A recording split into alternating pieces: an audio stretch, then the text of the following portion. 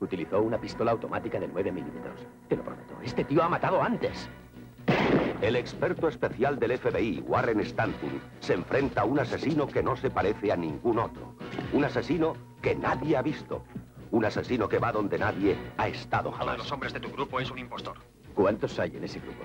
Cinco pescadores y la jefa de expedición. Eso debía ser un viaje de diversión, no una pesadilla. ¿Crees que matará a más gente? Salta. ¡Salta! Sí, lo creo. Antes de que Warren Stanton pueda enfrentarse al asesino, debe enfrentarse a un guía. No hay ascensores por aquí, señor. Ni autobuses, ni tranvías. Señor Knox, tiene solamente una opción. Y esa es la de guiarme por esas montañas. Ese hombre es mío, ¿me entiendes? ¿Qué es esto?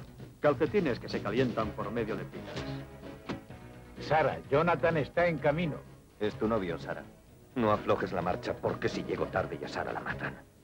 Te mataré. Dos hombres siguiendo la pista de un asesino y de su rehén. Uno por venganza, el otro por amor. ¡Sara!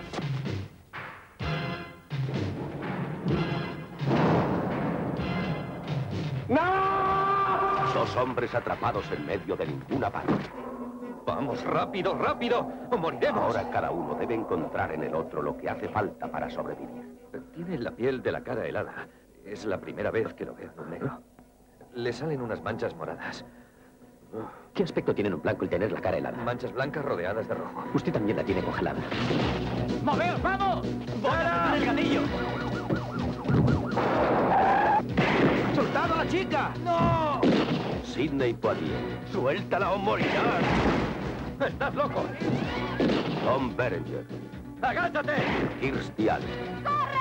Dispara a matar.